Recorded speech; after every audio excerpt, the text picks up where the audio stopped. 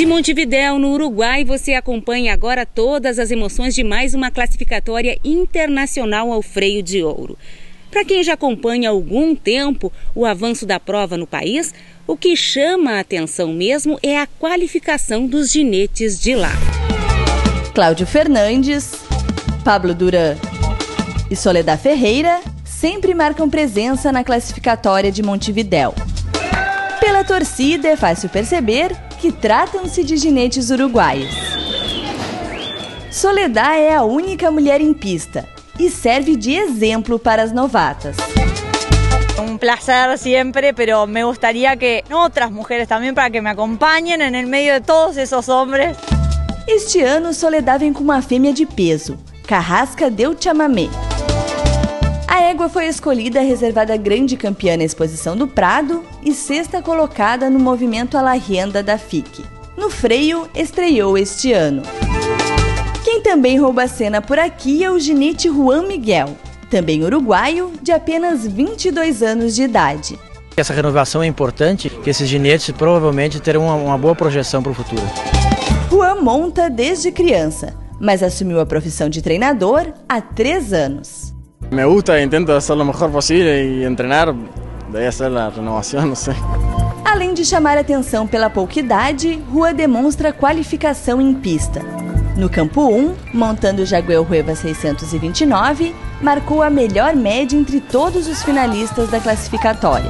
E dali para frente, o desempenho só se mantém. Entre os machos, destaque para Mapache da Rio Bonito, finalista do freio em 2012, que chamou a atenção por ser o primeiro cavalo na história da modalidade a gabaritar todas as andaduras. Mapache é um dos principais reprodutores da cabanha Rio Bonito, da cidade de Ponta Grossa, Paraná. E este ano volta às pistas com o ginete Zeca Macedo.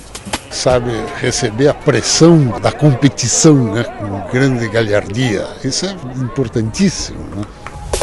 Vamos então ao resultado da classificatória. Entre as fêmeas, duas éguas marcam mais de 18 pontos de média final e garantem vaga para esteio. Detalhe: ambas de criadores uruguaios.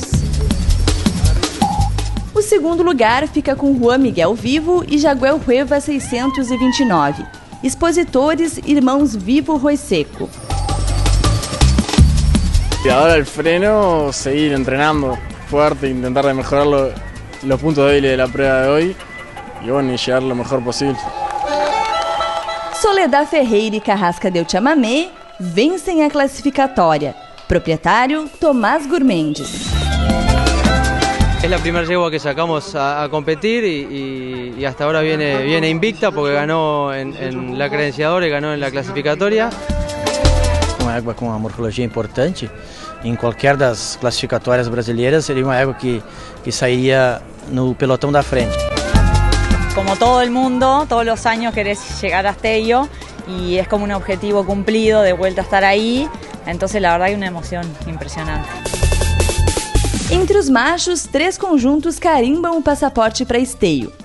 Marcelo Mogli e Donde está 110 da Trovador ficam com o terceiro lugar. Proprietários Adriano e Guilherme Malman, Cabanha Trovador. O segundo lugar vai para Gabriel Marte e vencedora A, expositora Tisa Monteiro de Quadros. Zeca Macedo e Mapache da Rio Bonito somam 20 pontos 336 e garantem o primeiro lugar. Expositor Rui Demeterco, Cabanha Rio Bonito. Vencemos no meio dos gaúchos, no meio dos uruguaios. Isso para nós foi muito importante. É um cavalo que sempre marca quase que pontuação máxima nos seus andares e foi o que aconteceu aqui em Montevidéu. Um cavalo que vai chegar com chance também de brigar é, por um dos freios, com certeza. muito completo, muito chegador, calo que não se acovarda nunca. Acho que ele vai chegar.